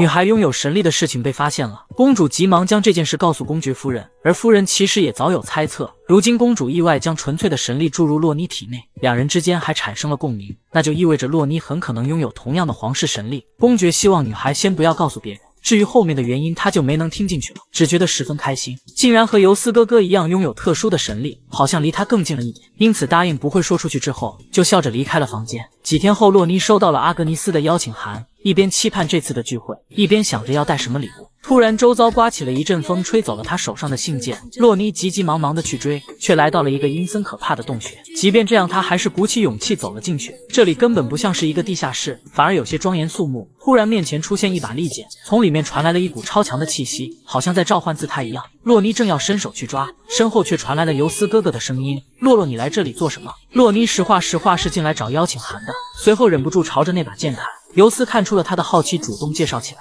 这是家族的神物阿雷斯之枪，看着好像是剑，但只要将神力注入，就会变成枪的模样。”尤斯虽然想要展示一下，可现在的他还做不到，因为想要继承这把神物，就要将原主人印记上的精神力彻底清除才行。等清空之后，再将自己的神力烙印上去，然后同化到神物之中，完成这一步，才能真正成为神物的主人。不过现在的我还差很多。见尤斯哥哥好像有些沮丧，洛尼急忙坚定的表态。我相信您一定能做到的，所以不要太勉强自己。此刻的尤斯已经决定，为了保护洛妮，一定要巩固自己作为下任家主的地位。时间很快就到了聚会当天，公爵夫妇亲自将洛妮送到外面。不论是传言中可怕的公爵对她轻声细语，还是这个送行的豪华队伍，就连真正的宫女都没有这个待遇，这引起了西维亚的嫉妒。可他却在看不见的地方发出了坏笑。就在马车行驶到半路的时候，西维亚突然表示想要去方便一下。随后就独自一人跑进了小树林。艾文总觉得十分奇怪，正打算下车去检查一下周遭，下一秒，一支利箭就朝着洛尼飞了过去。成千上万的利箭朝着马车射了过去，瞬间将所有门窗射穿。年幼的洛尼被吓得瑟瑟发抖，而乐文则冷静提议离开马车。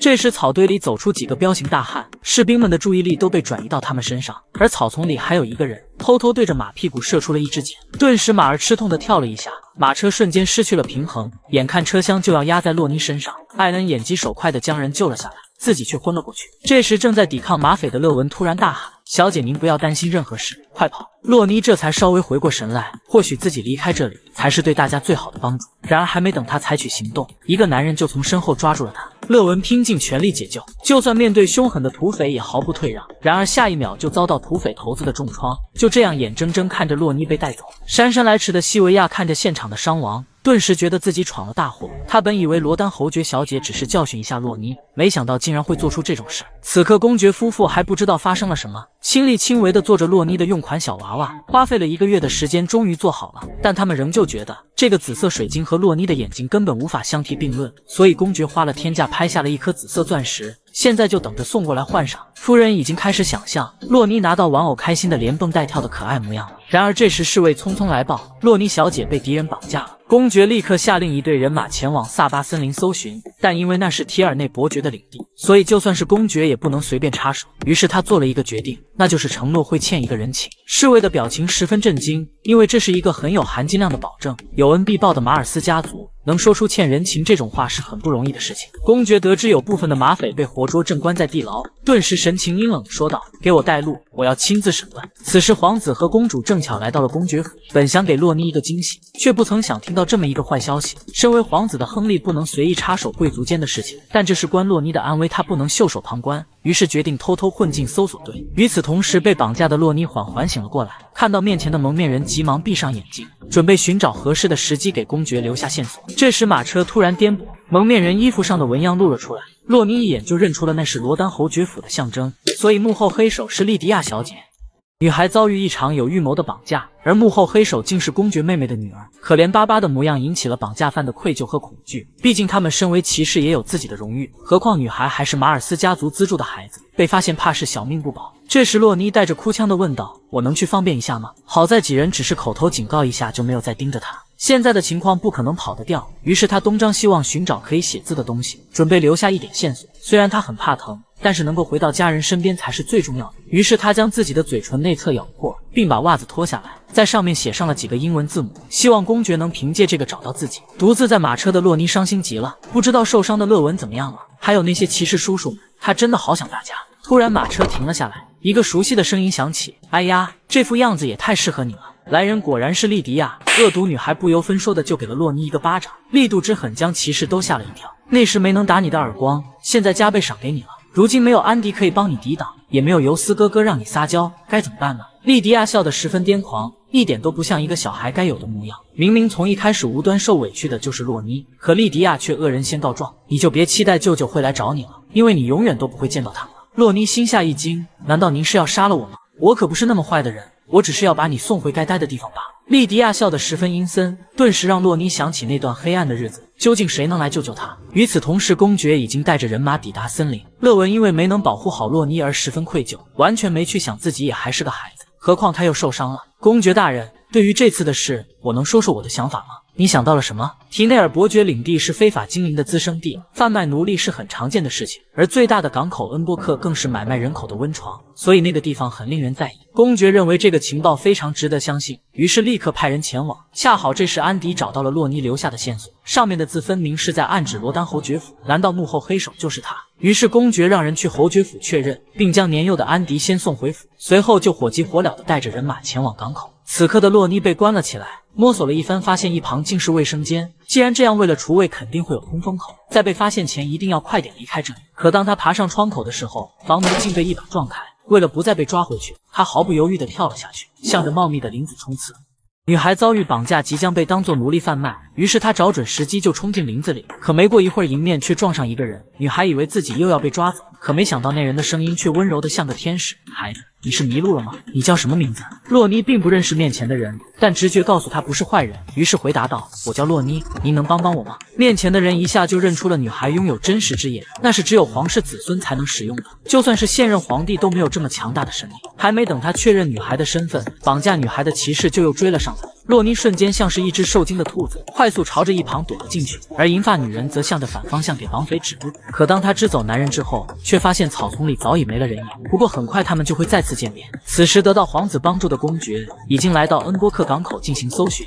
他坚信洛妮一定还在这里，毕竟绑匪会趁着凌晨警卫松懈的时候行动。于是当场下令，就算是普通民宅也不能放过。另一边跑了一天的洛妮就快找到一户人家，可下一秒却再次被抓了回去。你再逃一次试试，到那时我可真的不会放过你。男人阴沉沉的模样令孩子们都吓得抽泣起来。洛妮也强行捂住，不让自己发出声音。就在这时，外面有人进来说道：“出大事了，有敌人突袭，看样子像是贵族士兵。”洛妮觉得一定是公爵来救自己了，于是趁着两人说话的间隙冲了出去，并迅速将门锁住，一刻都不敢耽搁的向外冲。因为他知道这次没成功，可能真的就逃不掉了。可他没想到不远处还有一扇门，而且根本怎么都推不开。身后不断传来绑匪的嗤笑声，洛尼只能调转方向寻找其他出口。他真的害怕极了，难道自己再也回不去了？下一秒他就猛地撞上一个男人，本能的害怕到抱头痛哭：“求求你不要过来，求求你！”然而下一秒那熟悉的声音传来：“洛洛，冷静一点，没事了，没事了。”原来是公爵大人。这时尤斯哥哥也急切地朝着他飞奔而来：“你没事真好，要是没有找到你，我会后悔一辈子的。”洛尼立刻扑进哥哥怀里，生怕这一切都是梦，紧绷的神经终于放松下来。他就这样睡了过去。不知过了多久，一行人回到公爵府，洛尼也从梦中醒来，一下就扑到夫人怀中痛哭起来。大家都沉浸在失而复得的喜悦之中，而公爵府也恢复了往日的生机。所有人都在争夺和洛尼待在一起的权限。尤斯少爷却直接向洛尼发出邀请，就这样一行人一起向着幸福的未来前进。孤儿院女孩竟是皇室血脉。得知这件事的洛尼没有丝毫欣喜，反而选择继续现在的生活。对他来说，这里才是真正的家。很快，几人长大了。尽管洛尼知道自己拥有神力，可生活还是一如既往。这也是他平凡而又渺小的心愿。善良的洛尼为了赈济平民，当起了志愿者。但随着帝国发动灵虎扩张战争，受伤的人数也在日益增长。于是马尔斯家族建立了一座别馆，专门用于伤员的治疗。而洛尼也偷偷使用神力救治一些痛苦的人。这几年的经历让他更加感恩公爵一家，这份恩情永远都还不清。所以他想将幸福传递给身边的每一个人。就在这时，艾恩拿来了一封信，洛尼激动的不行，猜测是去了战场的尤斯哥哥的回信，可没想到竟然是皇室发来的邀请函。原来碧昂卡公主和亨利殿下的生日就要到了，洛尼十分感慨，因为战争的缘故，大家很久都没见过面了。可只有艾恩知道，这是公爵不让他和亨利皇子见面采取的措施。就在这时，外头响起一阵敲门声，有客人到访，说是来找当年丢失的孩子。这些年有数不清的人前来相认，可经过神力探测，却都是假的。因此，洛尼虽然难过，却也能很快恢复过来。不知不觉中，公爵夫人的脸上也冒出了皱纹。可在他眼里，洛尼依旧是那个还没长大的小女孩。然而，平静的生活即将被打破。今天是皇室宴会的当天，洛尼和哥哥以及夫人一起出席。许久不见的小姐妹开心的拉在一起叙旧，而亨利皇子也急忙出来刷存在感。看着那一脸的害羞模样，就知道他还是和小时候一样喜欢洛尼。还在磕 CP 的碧昂卡被突然出现的安迪吓一跳，瞬间就像一只炸毛的猫一样。两人还是如同儿时一般打打闹闹，洛尼也不禁磕起了两人，但还是忍不住想着，要是尤斯哥哥也在就好了。一想起尤斯哥哥，洛尼的心就忍不住扑通乱跳。可这么多年，还是不明白究竟是中什么心情。眼见被几人发现，洛尼害羞的急忙逃离现场，却不小心撞倒了一个人，神力竟然毫无征兆的显现。为了不暴露自己拥有神力的事情，洛尼急忙低下头道歉，因此他也没能看到面前的女人。却不知女人盯着他的背影，自言自语着：“这个女孩和我认识的洛尼很像，那个孩子难道是她？”小孤儿和皇帝的情人究竟是什么关系？卡斯特夫人在宴会上碰见一个熟悉的身影，令人打探后惊奇的发现，那孩子最开始到公爵府时叫做罗尼。然而他却不愿相信那就是自己的洛尼，毕竟多年前亲自确认过孩子已经死了。很快，公爵夫人就知道有人调查的事情，并且那是卡斯特伯爵夫人的侍女。夫人有些疑惑，为什么卡斯特夫人会调查洛洛？可下一秒却有了猜测：曾经卡斯特还未婚的时候，就消失了一年之久。不少人猜测是躲起来偷偷生孩子了。不管真相是什么，夫人都无法坐视不理，于是决定先一步采取措施。很快，时间来到了洛妮的生日宴会，几乎所有的贵族都到场了。听说是要宣布将洛妮正式迁入公爵家的户口。感谢大家来参加我的生日宴会，希望大家可以玩得愉快。大部分人只一眼就被洛妮吸引，不仅可爱，还那般落落大方。不过还是有少部分的人眼神中带着敌意。拥有神力的洛妮可以清晰的感受，不过他并没有放在心上，只是在这种时刻越发想念尤斯哥哥。就在他一个人发呆的时候，安迪默默走了过来，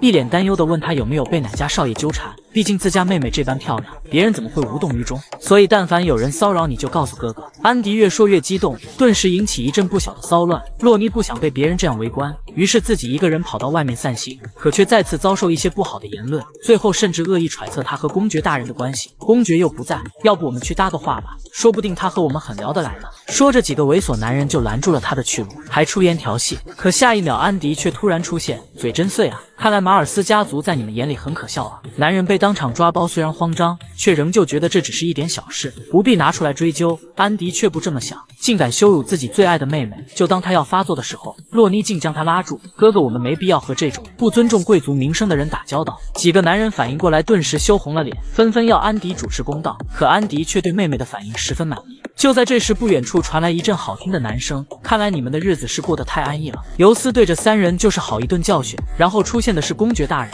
英质狠辣的目光一下就将几人吓得屁滚尿流。你们这几个家族的人，以后休想再踏入马尔斯家族的领地！让警卫将人拉出去之后，洛尼开心的扑到公爵怀里，眼泪汪汪的抒发着心中的想念。接着是尤斯哥哥，只是对视一眼，心脏却好像漏了半拍，完全冷静不下来。这时尤斯哥哥像小时候那样将他举高高，担忧的说他像羽毛一样轻，是不是没有好好吃饭？洛妮瞬间满脸通红，害羞的不敢抬头。被冷落的安迪冒出来寻求存在感，一家人再次恢复往日的热闹。女孩小时候遭侯爵小姐绑架。差点被卖到其他国家当奴隶。公爵大人查明之后，反手就将侯爵家族搞破产，使得堂堂侯爵小姐成了庶出公主的侍女，只能说不作死就不会死。然而莉迪亚即便受到羞辱，仍要待在这里，是为了伺机报复洛尼。因为公主也喜欢公爵家的大少爷尤斯，可尤斯每次从战场回来，都会第一时间去见洛尼，这使得公主十分不满。那种家伙到底有什么好的？真是太可恶了。虽然在公主看来，洛尼普通到不行，不可能会成为情敌，但始终觉得十分碍眼。于是。恶毒的他给莉迪亚下发任务，那就是想尽一切办法除掉洛尼，而这正好中了莉迪亚的下怀。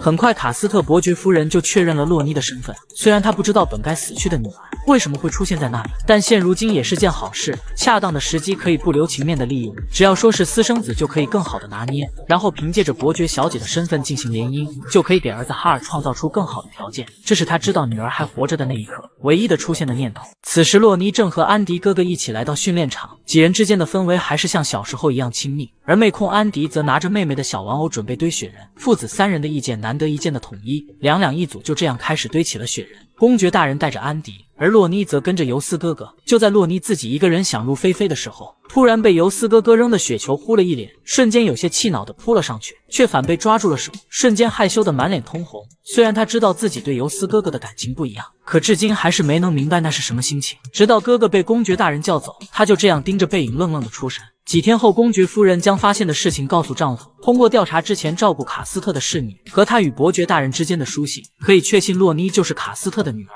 而洛妮身上拥有神力，所以公爵合理怀疑她就是被废的前皇太子的血脉。毕竟当时两人也曾有过亲密举动。公爵夫妇有办法让洛尼和卡斯特彻底隔离开，可万一洛尼想要和亲生母亲享人呢？经过这么多年的相处，公爵夫妇一直都将洛尼当成自己的孩子，虽然舍不得，可他们更尊重洛尼的想法，只希望女孩可以遵从自己的内心，幸福的生活下去。女孩终于明白，对哥哥的感情竟是名为初恋的喜欢。就在刚刚，公爵再次寻求洛妮的意见，希望她能好好考虑加入公爵府户籍的事情。只要你愿意，我们随时都欢迎，因为我们早已把你当做家人。心情复杂的洛妮自己一个人出来散心，虽然她也很喜欢公爵府的所有人，想要和他们一直生活在一起，但是她有所顾虑，觉得加入户籍会让马尔斯公爵府的名声受损。从小到大都在公爵府的庇护之下，她绝不允许这样的事情发生。就在这时，尤斯哥哥骑着马追了上来，原来是看他大半夜的不在府邸，怕出事，这才特地出来寻找。我睡不着，所以出来散散步。你这样很可能被坏人抓走。如果我不过来，你要怎么办？洛妮撇撇嘴，表示不认同。毕竟现在已经不是小孩子了。既然出来了，也不能什么都不做就送你回去。说着，尤斯就伸出手邀请他一起骑马。见洛妮同意之后，尤斯将人一把抱了上去，还为了安全将手拉到自己的身上。这下看来真的不能愉快的散步了。一路上，洛妮都害羞不已，就这样老老实实的缩在哥哥怀里，直到马匹停了下来。才发现这里的景色简直美到不行。尤斯看到他逐渐舒展开的神情，开心的笑了，十分温柔的问道：“我家洛洛有什么心愿吗？我听说初雪覆盖的田野里许愿，就一定能够实现。”洛尼好似还没反应过来，尤斯便开口道：“那就由我先来许愿吧。我希望洛洛可以无忧无虑的和我们一起幸福的生活下去。”这一刻，洛妮终于知道，从小时候第一次见到尤斯哥哥就产生的那种不同的情绪，原来就是传闻中的初恋。一时间，她不知道如何面对哥哥，只能羞涩的提议回去。而尤斯。看他的反应也有所猜测。另一边，卡斯特伯爵夫人正在思考公爵府会不会收养洛妮的事情。他觉得公爵一家将没有血缘关系的洛妮当做家人对待，简直不可思议。于是他有了一个猜想，那就是公爵知道洛妮拥有神力的事情。只有这样，一切才能说得通。毕竟，拥有神力的女孩将会成为扩充哈尔势力的一张很有力的牌。动了歪脑筋的他，打算亲自确认一下，立刻去公爵府把洛妮小姐带过来。我有很重要的事情要对她说。女孩自从认清对哥哥的心意之后，一直处于亢奋的情绪之中，做什么都没办法集中精神。就在这时，艾恩急急忙忙前来通报，有侍从受他亲生父母的委托前来接人。洛尼并没有放在心上，毕竟这些年经历过不少乌龙。然而这次好像不一样，因为在那之前，公爵夫人有话要说。这次来找你的是和你的亲生母亲有关的人。夫人将整个事情的经过都告诉洛妮，想听听她是怎么考虑的。女孩停顿了一会儿之后，郑重的说道：“如果我不想去的话，是不是可以当成不知道？”公爵夫人明白这么做是行不通的，可就算是这样，只要洛妮不同意，他们也会豁出所有去阻拦事情的发展。不过洛妮还是有些害怕，万一身上拥有皇室神力的事情被发现，他们是不会善罢甘休的，说不定还会变得更加糟糕。不过现在皇室的人还没出现，估计是还不知道这件事情。就在这时，管家匆匆来报，公爵大人传话。让洛妮小姐去见见卡斯特伯爵府派来的人，两人就这样一起下了楼。男人自称是卡斯特伯爵府的管家帕特森，奉命前来迎接洛妮小姐。小姐很可能是伯爵夫人丢失已久的女儿，所以希望您能和我们去确认一下。洛妮仅仅思考了几秒钟，便斩钉截铁地拒绝了。无论是卡斯特伯爵夫人还是你，我都不认识，所以我不会随便跟着你离开。男人立刻搬出了神殿，说这个邀请得到了神殿正式许可。然而洛妮还是坚持拒绝，就算是神殿也没有权利强迫我。这时尤斯也突然出现，态度坚决地说道：“请你们离开，他是不会跟你们走的。”管家想起夫人之前说过，如果遭到洛妮的强烈拒绝，就不要强迫。于是表达歉意并行礼之后，就转身离开了这里。然而就在所有人都松了一口气的时候，外面却传来了一阵急促的声音：“不好了，皇室那边来人了！据说是有人举报小姐冒充贵人。”下一秒，一支士兵队伍就闯了进来：“失礼了，公主殿下有令，让我们来把罪人带走。”女孩遭到反派公主的举报，眼见就要被侍卫以冒充贵族的罪名逮捕。公爵大人怒了，势必要护住洛妮，不管是什么罪名，这孩子的身份就是贵族，在任何情况下都不能被强行带走。说完，他就将侍卫通通赶了出去。洛妮这才想起小时候为了让他入籍公爵府，给他找了一个将要消失的家族姓氏，所以这个问题始终是个隐患。看着大家都为此忙碌担心的样子。他的心中十分愧疚，暗自下定了决心。另一边，身处神殿的艾文得知了消息，一整天都是一副魂不守舍的样子。他希望神女大人到时候可以出面帮忙，可神女知道洛妮其实是皇族，以后必定会经历波折，而担心不已的艾文还是决定去见一见小姐。当天夜里，洛妮就带着行李离开了公爵府，为了不再给大家带来麻烦，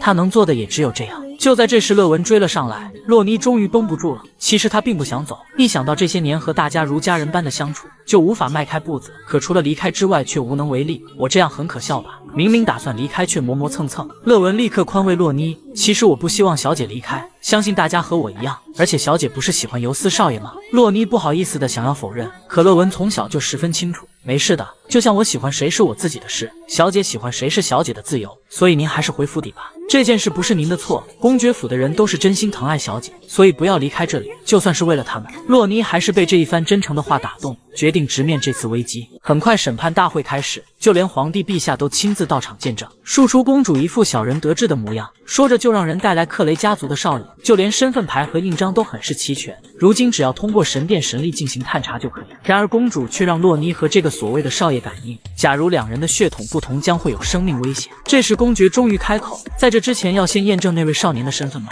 说不定他才是在冒充贵族。男人很明显心虚了。就在众人僵持不下的时候，神女大人竟然来了，而随她而来的还有洛妮。我听说有人要审判我，所以就过来了。公主一脸的不屑，对着洛妮好一通嘲讽。没想到洛妮竟直接承认自己确实不是贵族，两反派得意极了。然而下一秒，洛妮却说出了让所有人震惊的话：其实我是皇族。女孩被举报冒充贵族，反手就自曝皇族身份，来这里就是为了证明这一点。发起举报的公主慌了，急忙攀咬洛妮是在侮辱皇室。然而皇帝却一脸玩味的警告她，如果说谎，就连马尔斯家族都会受到牵连，洛妮绝不允许这样的事情发生，而这件事也只有她自己才能解决。说着，皇帝就让大神女上前验证。只见大神女带着圣物走了过来，触碰洛妮的额头，将灵力注入进去，瞬间洛妮的瞳孔变成了透亮的蓝色。在场的所有人都瞪大了双眼，其中包括皇帝和公爵夫妇，因为此刻洛妮显示出来的神力是史无前例的强大。皇帝顿时发出坏笑，已经想好怎么利用她，所以他没有对血缘进行更深一步的测试，而是将洛妮认成自己流落在外的女儿。走近一看，你还真是很像我。正好你和四皇子年龄相仿，应该会成为很好的玩伴。等你正式受封为公主的时候，再赐予你新的名字吧。洛妮从未想过会以这种方式离开公爵府，但是要想解决目前的困境，也只有这个办法。我有话对陛下说，是马尔斯夫人察觉到了我拥有神力的事情。如果没有他们，我可能这辈子都不知道自己的身世。所以我希望这件事不要牵扯到任何一个马尔斯家族的人。这话一出，本想借机惩治公爵府的皇帝也无话可说。没眼力见的公主还想让洛妮被治罪，没想到反被皇帝以散布谣言为由训斥。害怕被治罪的公主急忙将事情推到莉迪亚的身上。是他愤恨洛妮小姐。听说从前还唆使他人绑架过洛妮公主，那个人就是他。皇帝当场杀鸡儆猴，命令士兵将人关进监狱。莉迪亚不断朝着洛妮求救，请求他可以放自己一马。然而想起小时候发生的一桩桩一件件，洛妮并没有对他产生任何怜悯，直接转身离开了这里。回到公爵府之后，所有人都担心的过来安慰他。洛妮装得十分坚强的样子，可尤斯却看穿了他的伪装。只要你不愿意，公爵府会豁出一切帮你的。没事的，尤斯哥哥，能够在公爵府长大已经很幸福了。谢谢公爵府对我的养育之恩，这段时间真的谢谢大家了。那我先走了，大家一定要保重。洛妮急忙离开房间。只要自己走了，公爵府的人就能安全了。然而下一秒，他就被尤斯哥哥从后面抱住。洛洛，你要记住，无论发生什么，你永远都是马尔斯家族的人，我们会永远陪在你的身边。洛妮终于绷不住了，转身抱住了尤斯哥哥，贪恋着最后的温暖。毕竟皇帝忌惮公爵府，是不可能轻易让他们见面的。直到皇帝派来的官员不断催促，洛妮这才笑着和众人告别。刚刚回到皇宫的洛妮就被皇帝介绍给了卡斯特伯爵夫人。怎么样，我的女儿是不是很漂亮？没想到母女俩的一次见面竟然是用这种方式。伯爵夫人本来想告诉皇帝实情，可洛妮却先一步打断，表示自己身体不适，想要先走。很明显是不想和他相认。卡斯特仅仅难过了一秒钟，竟做出了一个十分离谱的决定，那就是让女儿洛妮和儿子哈尔结婚，以此来扩充哈尔的势力。女孩恢复公主身份，回到皇宫，这让哥哥十分难过，责怪自己还是没能保护好妹妹。如果拥有权力的话。是不是一切都会不一样？就在这时，他听见呼喊哥哥的声音，还以为是洛洛回来了。可打开门一看，却是空空如也，这一点都不像他平常的作风，只能拿着洛洛的玩偶睹物思人。而此时的皇宫内，碧昂卡正尴尬地对着洛妮喊姑姑。从小一起的玩伴突然转换身份，让两人都极不适应。于是洛妮提议私下的时候可以随意一点。碧昂卡哭着将他一把抱住，为刚刚说的那些口不对心的话道歉。两人坐下来之后，洛妮急忙向碧昂卡打听公爵夫人的身体状况。他让我转告你，他在公爵府一切安好，反倒担心你有没有好好吃饭。你什么都不要想，只要想着如何在这里过得开心就好。我和哥哥会好好照顾你的。洛妮听了这话才稍稍释怀。虽然来了陌生的皇宫，但至少还有珍贵的人在身边。就在这时，碧昂卡拿出了一个粉色布包，说是尤斯让他转交的。洛妮一脸疑惑地打开，发现里面竟是一个十分精美的发夹。虽然当时尤斯什么都没有说，但是我可以感受到他很是想念你。洛妮的脸瞬间红透，碧昂卡见状也是磕疯了。当天晚上，洛妮就做了梦，梦里她戴着那个发夹，而尤斯哥哥也出现在身边，将她一把拥入怀中，不断诉说着思念。我好想你，洛洛。妮猛地睁开双眼，自嘲究竟是有多想游斯哥哥才会做主梦。然而下一秒，房间里竟凭空出现一个人。等那人摘下斗篷，洛妮这才看清面前的人，竟然就是自己日思夜想的游斯哥哥。原来洛洛你还醒着，我来看你了。听着游斯哥哥的安慰，洛妮瞬间绷不住了，两人就这样抱在一起。我好想你啊，游斯哥哥。洛妮下意识地将心里话说了出来，这让游斯吃惊不已。然而房间里的动静还是引起了守卫的注意。游斯知道自己该离开了，蹲下身和洛妮贴贴。我们洛洛又要独自一人了，但你一定要好好的，按时吃饭睡觉，知道吗？两人就这样结束了这次短暂的见面。隔天，洛妮就来到了皇室附属的神殿。从上次之后就没见过乐文，听说他调到了这里。就在这时，法皇带着乐文出现了。据洛妮了解，法皇和大神女的地位相等，但是却拥有很高的俗世权利，因此在皇宫内的地位不输大神女。简单的寒暄几句之后，洛妮就和乐文来到了外面的庭院。而调到这里的这些日子，乐文打探到了十分有趣的情报。现在的皇室对外主张。自己和创立了帝国的克罗伊德是同一个家族，拥有同样的血统。但是有传言说，创立了帝国的初代大帝其实是马尔斯家族的初代家主，他的名字叫做德罗纳马尔斯。失散多年的母亲竟让她嫁给亲弟弟。就在刚刚，洛妮意外得知马尔斯家族的祖先和皇室一样，拥有名正言顺继承皇位的正统性。正常来说，这种话题是不允许被提起的。但是乐文却说这是意外听到他人讨论，很明显在极力隐藏着什么。不过洛妮没有强行问出一个结果，而是放任乐文离开。如果事实真的像他所说，那么意味着现在帝国的主人应该是马尔斯家族的人。所以皇室才会这么忌惮马尔斯家族。再进一步设想，若是马尔斯家族的创始人真的是一位女性，并且成功登上皇位，那么意味着公主也是有继承权的。当天回去之后，洛妮就见到了意想不到的人，那就是从小照顾她的艾恩。是公爵大人下足了功夫才让她进来，重新成了洛妮的贴身侍女。艾恩像往常一样为她梳妆，这让洛妮怀念起从前在公爵府的日子。不知不觉已经过去了很久。而艾恩也给他带来了一个十分重要的消息，那就是皇室在给他挑选专属骑士，为此在宫外还要举办剑术大赛。据说在大赛上获胜的人就会成为专属骑士。洛尼第一时间就想到了尤斯哥哥，可这样的想法只停留了一秒，因为他知道成为禁卫军就不能结婚，毕竟拥有家人的禁卫军就等于有了软肋，无法保证他们的忠诚。就在这时，门外传来卡斯特夫人求见的消息。洛尼不想让这件事被更多人知道，于是将艾恩先一步支走。没想到伯爵夫人却将他一把抱住，说着今天是他的生日，随后还从口袋掏出一个精美的项链作为礼物，不过却被洛尼坚定的拒绝了。您是我亲生母亲的这这件事是不能被公开的，而且我记得已经明确拒绝过您了。女人没想到洛尼竟然这般决绝，看来还要再努力一些才行。果然，他开始打起了感情牌。不管怎么说，你都是我的孩子，而且我不是故意抛下你的。我把整个村子都找遍了，以为你已经死了。还有，你不是皇帝的孩子，而是被废掉的前皇太子的孩子，所以不能大张旗鼓的寻找。现在的皇帝自私自利，如果你没了利用价值，就会被抛弃。所以你想要站稳脚跟，就要依靠你的弟弟哈尔。洛尼只觉得一阵恶寒，很明显意思是让她嫁给素未谋面的弟弟。本以为母亲会心存愧疚，没想到竟是这样。对您来说，我究竟算什么？您从一开始就是为了这个目的吧？如果我当初去了伯爵府，那一刻就会成为私生子，苟延残喘的活下去。夫人从头到尾只是想利用我。说着，洛妮就毅然决然地将女人请了出去。几天后，就来到了剑术大会。今天是为他选出护卫骑士的日子，而他也从艾恩口中得知一个重磅消息，那就是尤斯哥哥为了成为他的骑士，要参加这场比赛。为了每天见到妹妹，他竟主动报名护卫骑士选拔。一旦选上，就再也不能继承爵位、娶妻生子，并且这个赛场是绝对的无情，就算丢掉性命，也只能说明自己实力不行。洛尼不断在心里祈祷，哥哥一定要平安无事。很快，比赛正式开始。没过多久，尤斯就成功杀入决赛。皇帝对此很是不满，而喜欢他的艾琳公主更加不不高兴，直接提议让尤斯和皇室联姻。洛尼知道，一旦皇帝采纳，就连尤斯哥哥都无法轻易拒绝，因此他提出向参赛骑士发出联姻的不合理性。怎料皇帝却反过来问他：“难道你希望马尔斯家的长子做你的骑士吗？”瞬间现场冷了下来。好在洛尼急中生智，表示中途改变规则会影响皇室声誉，而且要是马尔斯家族的人成为骑士，不也意味着他会效忠于皇室吗？皇帝顿时觉得很有道理，说不定还能借机打压马尔斯家族的气势。果不其然，尤斯成功拿下比赛。皇帝明知成为禁卫军就无法继承爵位，却挖苦说马尔斯家族的未来一片光明。然而尤斯并没有理会，而是在洛尼面前单膝下跪。马尔斯家族的尤斯想向公主殿下宣誓：“您愿意接受我的效忠誓言？”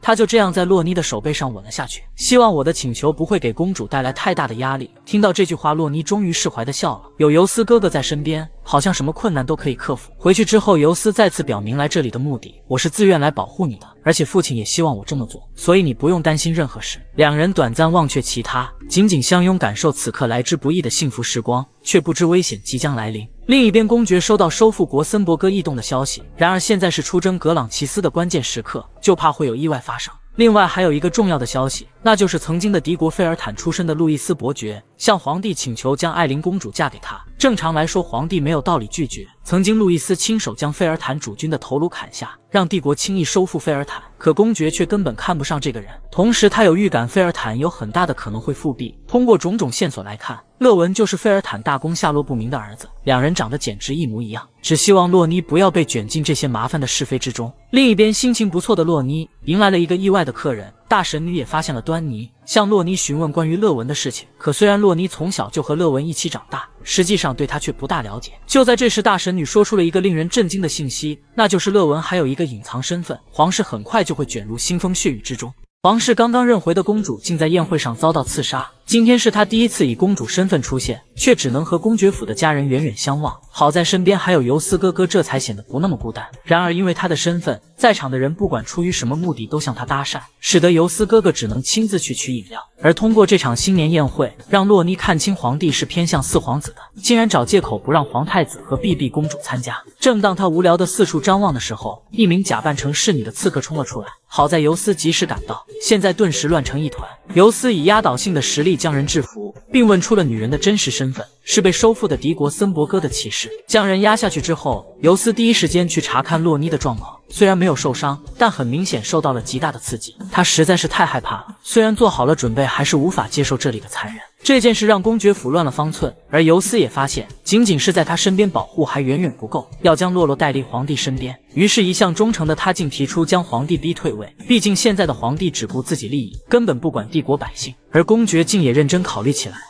削弱皇权，壮大自己的实力才是硬道理。不久后，我将按照皇室的命令带兵前往费尔坦镇压叛乱。严寒和地形都对他十分不利，但公爵已然想好了对策。如今不能相信皇帝了，洛洛要由我们来守护。几天后，洛妮收到了公爵出征途中受伤失踪的消息。最后见到公爵是在发生过斗争的伊利斯峡谷，可能是寻找食物和水的时候遭了埋伏。并且那里是悬崖，估计已经遭遇不测。洛妮痛苦的跌坐在地，这让尤斯十分不好受，下令让所有人出去之后，告诉洛妮父亲还活着的事情。具体情况不好在这里说，不过在那之前要带你见一个人。洛妮以为是去见公爵大人，没想到尤斯却问他对乐文了解多少。我们现在去教堂，在那里你会了解一些重要事实，不仅是父亲的行踪，还有你的好朋友乐文的事。